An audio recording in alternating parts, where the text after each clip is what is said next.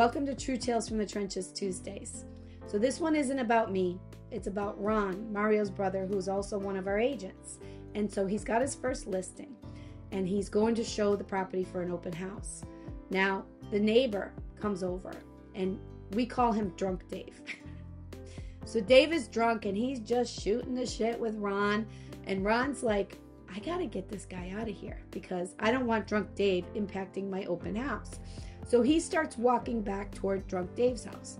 Drunk Dave tells him about how he's been cheating on his wife and how he wants to murder his ex wife's husband and that he was cheating on her and that she's got a birthmark that he told her was a birthmark, but it's really herpes.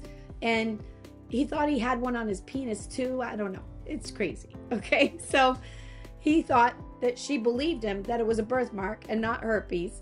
But the, this is a whole crazy drunk story, right? Main thing is that he wanted to murder his ex wife's current husband.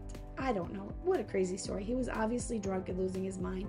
But thank God Ron got him away from the house and had an open house and successful open house. And now he has sold the property. But it, it, you meet all kinds of people in real estate. you kidding me? Drunk Dave wanted to murder his ex-wife's husband. Want to make sure you don't miss a single story? Follow or subscribe so you get all the juicy details.